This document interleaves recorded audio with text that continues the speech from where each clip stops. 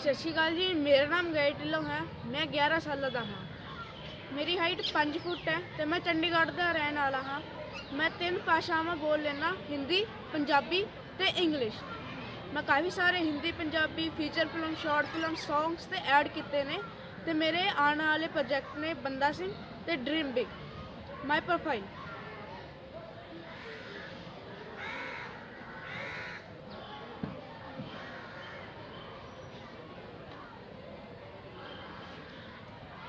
Thank you.